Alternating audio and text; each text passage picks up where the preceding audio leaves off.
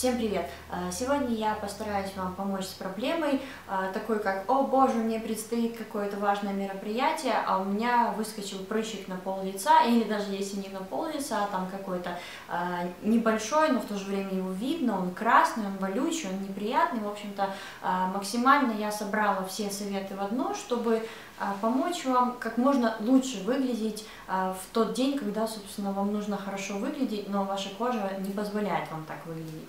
И сегодня я с вами не буду говорить о макияже, о том, как это все замаскировать, потому что, в принципе, ничего сложного в этом нет, если вы будете следовать правилам, о которых я сейчас буду говорить. Первое правило. Старайтесь как можно меньше трогать его руками. Дело в том, что на руках у нас всегда есть пот, практически всегда есть жир. И чем больше вы трогаете ваше лицо, чем больше вы трогаете эту зону, тем больше она становится какой-то грязной, там размножаются бактерии, и это еще более усугубляет э, вообще состояние вашего прыщика. Э, и более того, вы можете занести инфекцию в какую-то соседнюю пору, и еще больше это все начнет там размножаться и плодиться, и, а, в общем-то, ничего хорошего вы таким образом не добьетесь.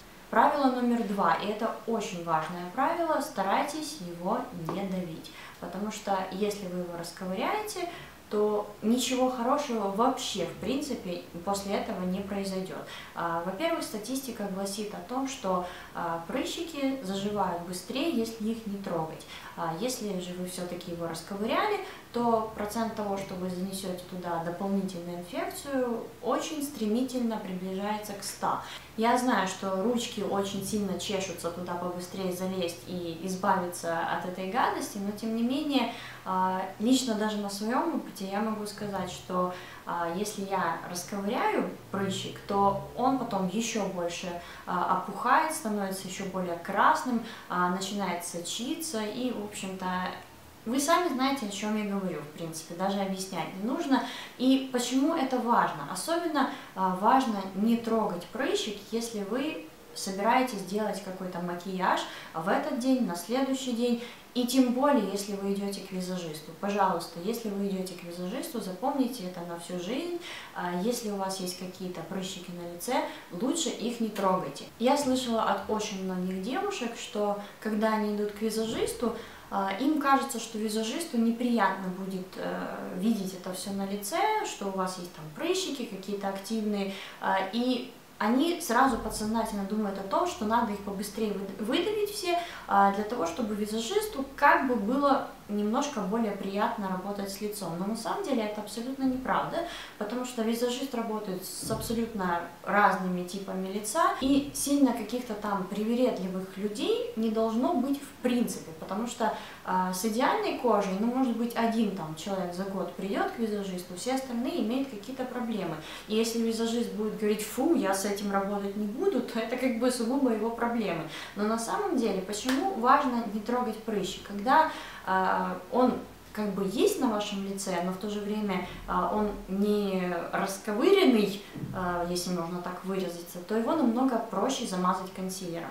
Когда прыщик уже, в общем-то, был выдавлен, в самом худшем варианте он начинает сочиться. И когда вот эта рана уже, скажем так, которая у вас есть на лице, сочится, ни один консилер ничего не будет его брать. Можно будет накладывать там, я не знаю, а, тонны просто слоем за слоем за слоем за слоем, это все закреплять пудрой, но это все будет течь, э, и потом, когда этот прыщик заживет и покроется корочкой вместе с вашим макияжем, в процессе того, вот как он будет заживать, и вы будете носить макияж, это выглядит просто ужасно, потому что он засыхает, он становится таким вот большим бугром, и, в общем-то, да, я думаю, вы понимаете, к чему я клоню.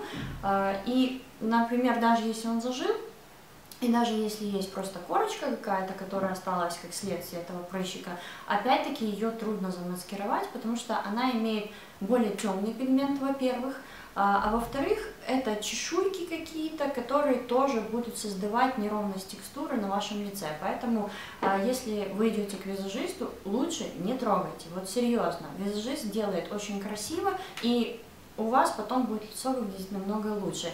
А если вы это все расковыряете, то потом вам поможет только фотошоп. Визажист вам в этом уже никак не поможет. И последнее, о чем я хочу поговорить на эту тему, это попытаться как-то все-таки его утихомирить. и сделать так, чтобы он максимально-максимально сильно себя не проявил.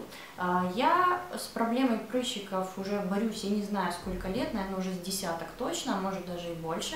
Много, в принципе, средств я перепробовала, и для себя поняла, что существует всего лишь два ингредиента, которые способны действительно помочь с высыпаниями. Первое – это салициловая кислота, которая работает, в принципе, не на всех.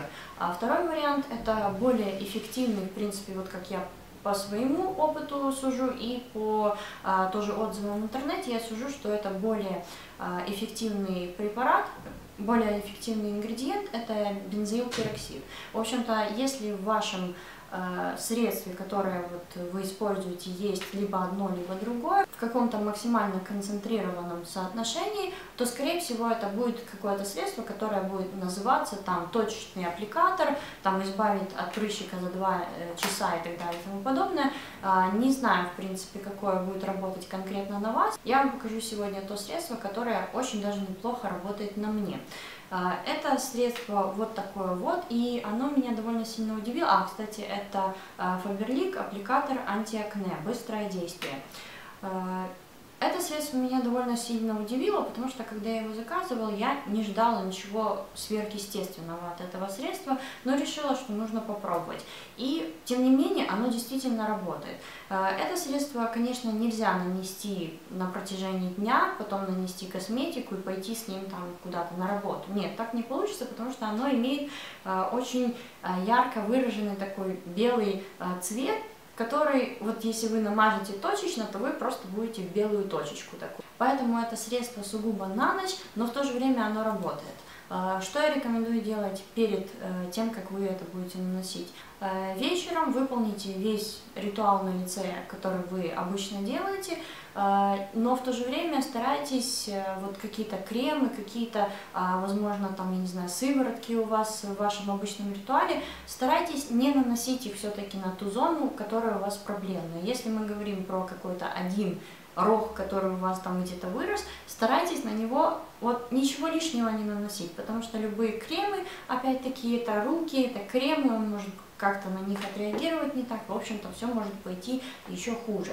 А, я советую нанести на все лицо, которое а, у вас в нормальном состоянии ваш обычный уход, можно использовать какую-то маску очищающую тоже на лице, это никак вам, я думаю, не повредит. И потом наносите вот это, либо любое другое какое-то средство, которое имеет в себе высокую концентрацию салициловой кислоты или бензоилпероксида.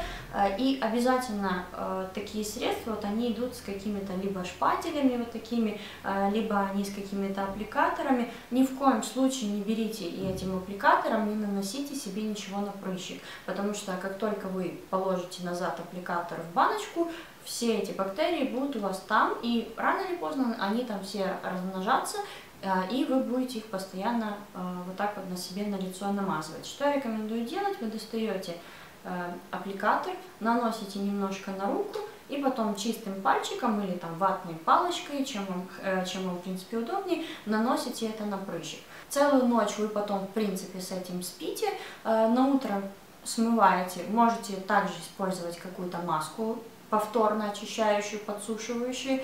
А, и также есть еще вариант, это приложить а, небольшую ватную палочку или какой-то ватный диск а, и смочить это все визином, то есть средство, которое делает глаза более яркими, убирает красноту. Если краснота у вас есть, вы можете приложить ватный диск или ватную палочку с визином или с каким-то аналогичным средством для глаз, подержать минут так 10, и это очень хорошо убирает красноту э, от прыщика. В общем-то, да, вот такие вот ненавязчивые советы, в принципе, ничего сложного, э, но надо, конечно, себя переучивать и стараться как можно меньше вот этим вот заниматься у себя на лице, тогда, в принципе, э, и макияжем скрыть намного проще эти все проблемы. И заживать оно будет тоже намного лучше, и шрам еще у вас не оставит, или пигментные пятна постакне. А, в общем-то, на этом буду заканчивать. Надеюсь, видео было для вас полезным. Обязательно поделитесь внизу какими-то средствами, которые вам помогают вот очень быстро избавиться от прыщиков, потому что мое мнение здесь не единственное. Если у вас есть какие-то хорошие советы, всем будет интересно их почитать.